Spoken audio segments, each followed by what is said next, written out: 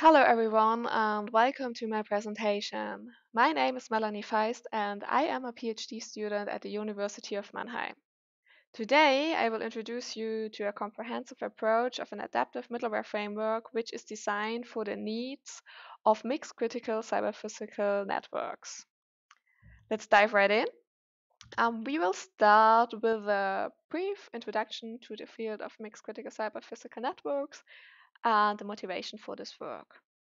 In general, a cyber-physical system consists of a cyber system and sensors and actuators as the connection between the cyber world and the physical world. Often, multiple cyber-physical systems cooperate and interact with each other over a network, fulfill their tasks, and achieve their goals. This leads us to the topic of cyber-physical networks. Additionally, tasks with different criticality level exist in such cyber-physical networks, which makes them mixed critical.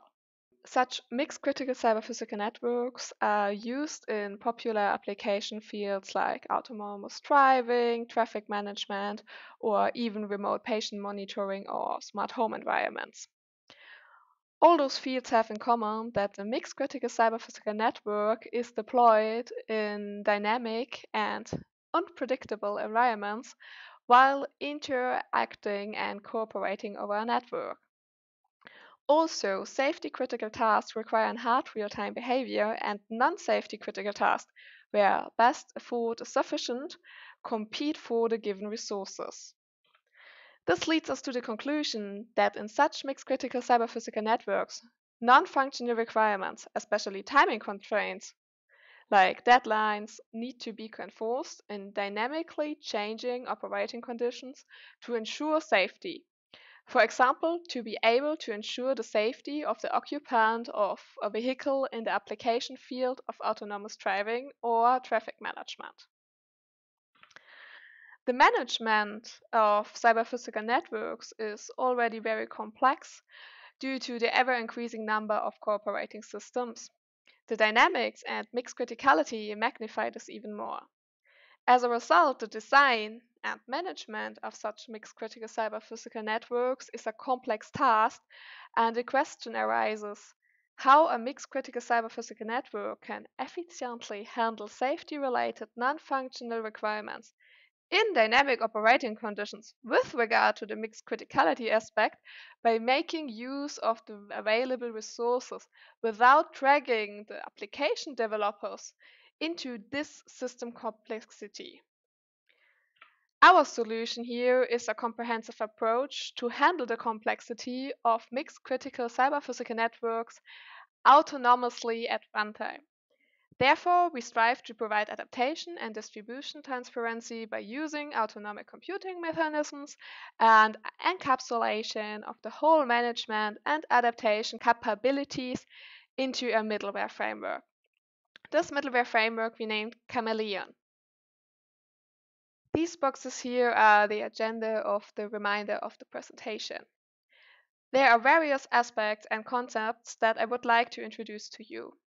First, we will start with the concepts that consider adaptation and mixed criticality before moving on to the basic architecture of the middleware. Let's start with the first aspect, the multi-dimensional optimization space. What has the system model to do with the multi-dimensional optimization space? Well, we follow a comprehensive approach. Therefore, we consider the key parameters and the structure of the entire system consisting of application, computing nodes, communication channels, sensors, actuators, and the middleware itself as subject of adaptation. The system model describes the world in which the developed middleware operates. Therefore, due to the chosen comprehensive approach and the required end-to-end -end view, all the resources of a mixed critical cyber-physical network are modeled, including their key parameters and the interaction with each other. The comprehensive approach uh, allows for a maximum of flexibility for adaptation mechanisms and increases the opportunities for adaptation by considering multiple aspects like relocation, modification of scheduling strategies, and tuning of timing constraints as possible actions to ensure safety. This creates the multidimensional optimization space. The next aspect I want to talk to you about is the criticality modeling and the management of the mixed criticality in such a mixed critical cyber physical network. The criticality of a task becomes of interest if it is not possible to serve all task requirements anymore.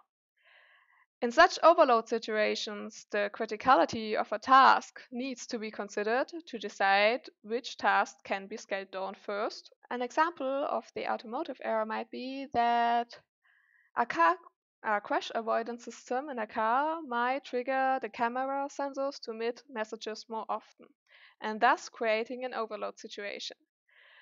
To be able to avoid an accident, the safety critical the safety critical task which is responsible for the brake control must continue to comply with all requirements. On the other hand, it is acceptable if the task responsible for the multimedia system violates its requirements to ensure the safety of the vehicle occupants.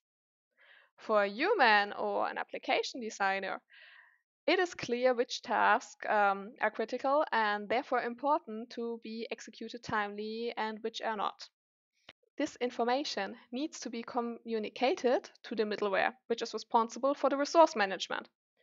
In case of a system overload, the sound execution of a high critical task should be prioritized by the middleware. We have chosen a flexible classification into different importance levels. Thereby, the importance parameter is used as a decision parameter for adaptation and management choices in case of overload situation. This realizes a dynamically prioritization of critical tasks in terms of adaptation and maintenance. The last aspect regarding the adaptation I want to talk about are the so-called health values. When we think again of the comprehensive approach and the system model, it is clear that we have a multitude of specific monitoring data we can observe. We can, for example, monitor statistics like miss rates and average distances to given timing constraints, for example, deadlines or periods of applications or also some status data like the demands of applications or the remaining capacities of nodes or communication channels might be interesting. Even remaining energy of a node might be of interest dependent on the application field. The question is now, how do we decide if an adaptation is necessary to ensure safety and when this is the case, which action is best? For, for example, should we trigger adaptation when a deadline is missed the first time? Or is it sometimes acceptable that a deadline is missed? And when adaptation is necessary to keep this deadline, for example, how should we achieve this? Should we tune a period of another application? Or should we relocate an application within the system? There are many questions and possibility which needs to be considered here. As basis for the adaptation the system, we therefore added an abstraction layer in terms of normalized health values to describe a unified definition of the system condition. Thereby, any specific monitoring data can be mapped to abstract and normalized health values. The condition of a component in the whole system can then be expressed by multiple of such health values. For example, we can derive a health value per application, per node, and per local communication channel within the system. And the overall system health is then, for example, the worst or average of those health values. Based on this normalized health values and acceptance space, which describes the acceptable behavior of the system, is achieved. Also, we can define a target space, which is a subset of the acceptance space. Adaptation can then be triggered if a defined acceptance space or target space is left. This makes the system robust. When using the target space limit for adaptation, proactive behavior which avoids unacceptable behavior can be achieved as well. In addition, the system is flexible since the adaptation goal can be altered by adapting the limits or the derivation of the health values. On this slide, an example calculation on how health values of application can be retrieved is shown.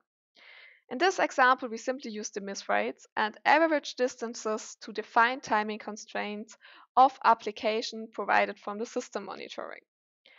Also, we assume that each application can define maximal allowed miss rates and allowed maximal relative distances as margins of the acceptance space.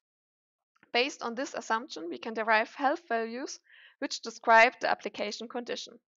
This condition can then be used to determine if adaptation becomes necessary or not. The health values describing the condition of the components as well as the overall system can then be used by an adaptation mechanisms, for example rules, to determine if adaptation is necessary and if this is the case, which adaptation action might be useful to bring the system back in the desired behavior in the desired limits of the acceptance or target space to ensure safety. This slide here shows some considerations.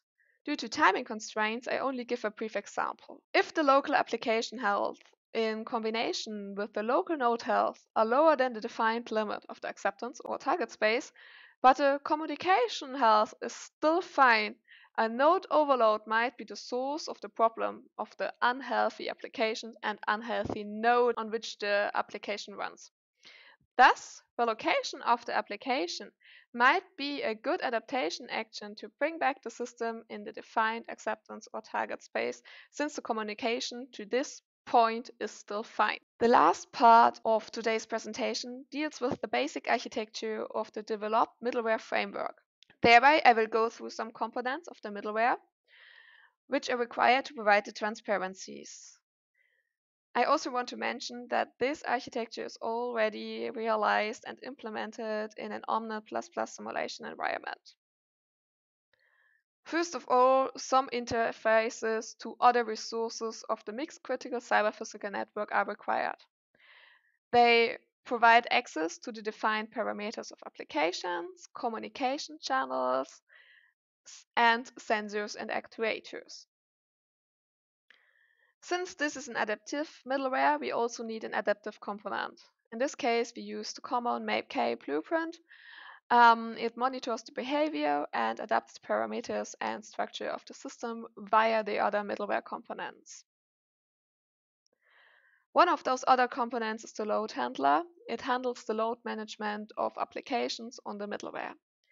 It allows to monitor and modify the computational and communication load caused by application and sensors on the local node and on the communication channels of the middleware.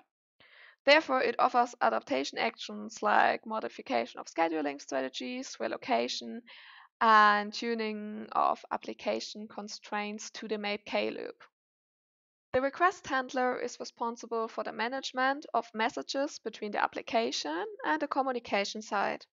Thereby, a differentiation between local messages and remote or gateway messages which needs to be sent over the network is made. If a message needs to be sent over the network to reach its destination, the middleware instance needs to know where the destination application is currently located. So it needs to know on which node or middleware instance the application resides. And also the middleware needs to know how to reach them, so which local communication channel to use to transmit the message to the corresponding um, application. This is also true for sensors and actuators. This knowledge can be retrieved from the local web component.